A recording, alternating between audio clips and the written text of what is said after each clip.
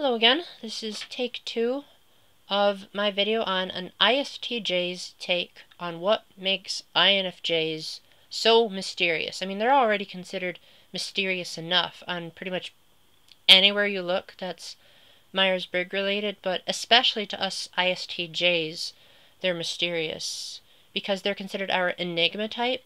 And if you're not an ISTJ and you're wondering, well, Paul, what's my enigma type? All you have to do is find someone that has the same first and last letters as you are, but then their middle letters are different. So if you're, say, an ENFP, your enigma type will be the ESTP. So I'm going to attempt to explain from an ISTJ's perspective what makes those crazy INFJs so darn like, yarg, you guys are even bigger enigmas than I am, and that's saying something. So first off, let me make a disclaimer, if I haven't already, that I love INFJs. I think they're fascinating.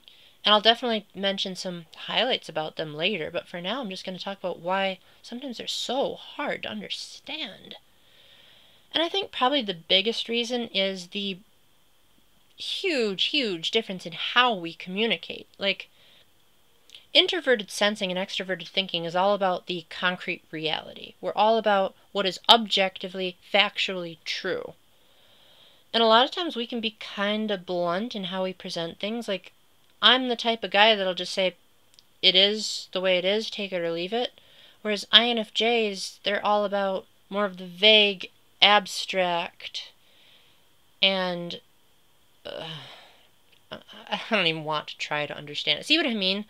About them being an enigma. Like you ask them you ask them stuff like, "So, what do you think about me as a friend?" They might be like, "Well, you're a nice guy." And I'd be like, "Okay, so what makes me a nice guy?" Care to give an example? They're like, "Well, just in all the times I've seen you, you seem like you're a really sweet person that cares about your friends." And I'm like, "Ugh, is it that hard just to give a straight answer?"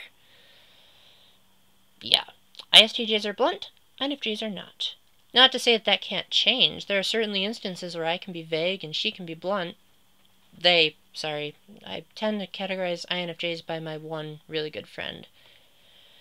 Also, INFJs have a habit of. So, with them having dominant intuition, that means they tend to they don't even know how to explain intuition themselves, so good luck with me trying to explain it. But I was talking to an ENFJ who has intuition as a secondary function.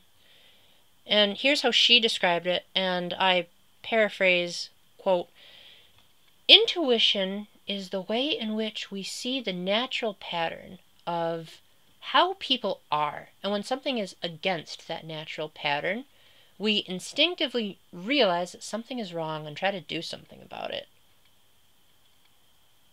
Okay, yeah, I guess that kind of makes sense, but on one hand it doesn't. And let me give you a few, one or two personal examples of where that just baffles me to some extent. There's one time where I was hanging out with my INFJ friend. Well, okay, we weren't hanging out, we were going to Mass. That's significantly more important. Anyway, we were going to Mass, and the day before, actually just a few hours before we hung out, one of my friends had decided that she was going to just kick me out of her life, and we were really good friends too. And that was really, really devastating to me, but I didn't want to bog down the hangout with my negativity. So I decided that I was going to bury my emotion for my friend and just not mention it. But as we were walking towards the Mass, once she showed up, she put her arm around me. And in my head, I was thinking, well, that's odd. I didn't give any indication that I wanted someone to put their arm around me. I didn't say to her, hey, can you put your arm around me? But she did. And I needed that. But I didn't tell that to her. Because I'm the type of person that if I want something, I usually just say it. Whereas INFJs sort of intuitively know when someone wants something and it's and, and she later confirmed that she knew that there was something up because I told her after mass I said yeah I'm not feeling that great today but one of my best friends just decided to dump me. She's like yeah I knew that you were upset. And I was like how can you tell that from looking at someone for two seconds? What's even scarier is that they have this almost psychic ability where they can know the future by being able to put a bunch of things together to form what they consider an objective analysis of what's about to happen. Because ISTJs, they're all about the facts. It's worked before, so it'll work again. INFJs are all about let's discover a, a new way of looking at this. And so as a result, they might analyze a person.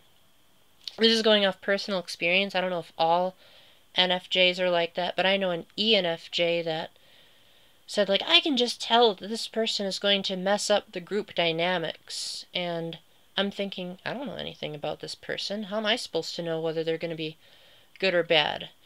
Or they'll say, like, this person is just giving off really negative vibes. And even though I get that occasionally, that's usually something I have to think about. Whereas it's just second nature to them. It just pops into their head. Whereas, like with me, I think what probably baffles them is that introverted sensing is my dominant function. I'm really good with facts, you know, stuff I know for a fact. So for me, it's natural for me to just say, like, oh yeah, you were wearing a yellow shirt, you had your shoes untied that day, and you spilled strawberry lemonade all over the floor. They'd be like, huh? How do you remember all that? And I'd be like, natural. So it's just as natural for them to know things in advance. Are they fortune tellers or something? Anyway. I end as I promised. I promised that I would talk about what I love about INFJs, and I plan on doing that.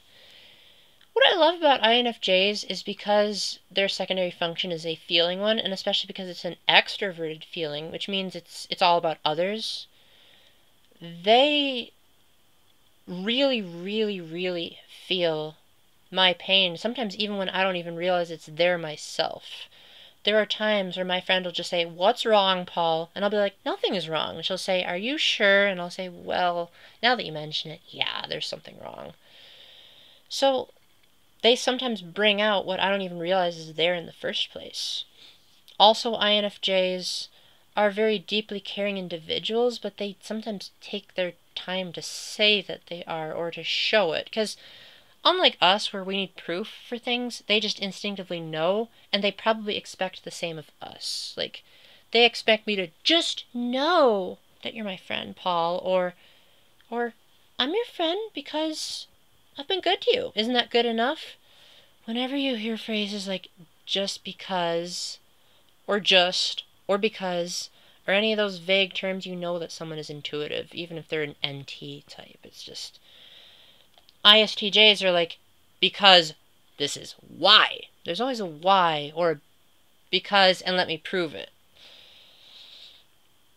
Anyway, another thing I love about INFJs is that they are very precise when it comes to how they express what they're expressing.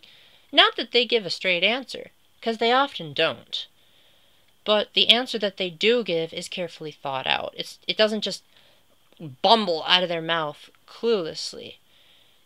No offense to you ENFPs and ESFPs out there, but sometimes the stuff that comes out of your mouth, it's like, did you even think about what you were saying before you said it? INFJs carefully, carefully think, and sometimes it takes them weeks and they meticulously organize exactly what they're going to say, and they say it to the dot. And if they mess up on it, boy, do they dwell on it.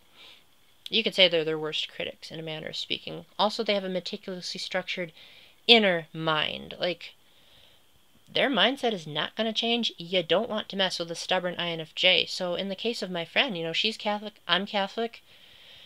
And even if I decided not to be Catholic and tried to sway her otherwise, it would not be an easy thing to do because that. INFJ stubbornness, don't mess with it. That's all I'm going to say for now. But on the other hand, and I already did a video of this on my other camera, so I'm not going to bother going in depth, but on the other hand, people say that ISTJs and INFJs aren't really naturally supposed to get along, yet I've been saying this whole video, one of my best friends is INFJ, so you might be wondering how it is that we get along so well. And I think what it is, is that she appreciates me being able to factualize things that she might consider more objective or more uh, feelsy. And for me, I appreciate how she draws out what I'm feeling when sometimes I might not be properly feeling it or I might be bottling it up. And she's like, come on, Paul, you can let it out. You can trust me. You know, stuff like that. Also, because ISTJs are more outwardly structured, I can often help her to. Sorry, I keep saying her. I can often help them to be more aware of their environment. I often say to my INTJ friend, Oh, brother, you'd forget your own head if it wasn't attached to your shoulders. I can help them observe what's going on around them.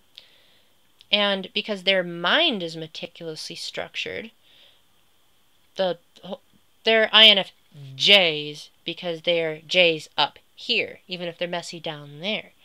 So she can often help me find a sturdy and stable mindset. She can say, well, maybe if you look at it from this angle, that way you have a framework to work on for the future.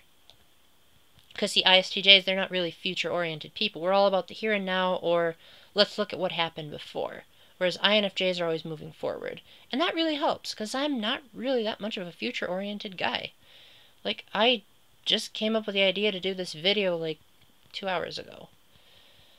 So, yeah, she helps me be a more, they help me be more future oriented. I help them with memorizing facts and being more outwardly organized. So, where one is weak, the other is strong, and vice versa. It's the seesaw effect. So, without further ado, that's my take on INFJs. And if you're an INFJ out there, know that you may be weird, but sometimes weirdness can be a very attractive thing. So, keep it up, be yourself, and God bless. Bye.